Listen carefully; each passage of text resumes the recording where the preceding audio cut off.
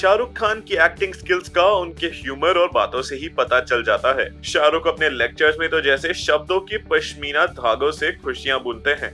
अभी कुछ दिनों पहले टेड टॉक की ही बात ले लीजिए, जहाँ शाहरुख के लेक्चर से वहाँ मौजूद सभी मोहित हो गए थे। और अब टेड टॉक के बाद बारी है ऑक्सफोर्ड की। जी हाँ शाहरुख को ऑक्सफोर्ड में लेक्चर देने के लिए इनवाइट किया गया है। एक लीडिंग डेली के साथ इंटरव्यू के दौरान शाहरुख ने इस बात को कंफर्म करते हुए ये भी बताया कि उन्होंने इस इनविटेशन को एक्सेप्ट कर लिया है और फ़िलहाल वो अपनी डेट्स पर वर्कआउट कर रहे हैं। वेल well, जब ज़्यादातर सेलिब्रिटीज इन लेक्चर्स में अपनी सक्सेस स्टोरी शेयर करते हैं वहीं शाहरुख ने टेट टॉक के दौरान ज़िंदगी के कई और पहलुओं के बारे में बात किया था। और अब ये देखना होगा कि ऑक्सफोर्ड के लेक्चर में वो किस विषय पर बात करते हैं। तो दोस्तों, आपकी इस बारे में क्या राय है? हमें ज़रूर बताएँ और कमेंट करना ना भूलें। जुड़े हैं हमारे साथ सिर्फ़ और सिर्फ़ बॉलीवुड स्पाई के साथ।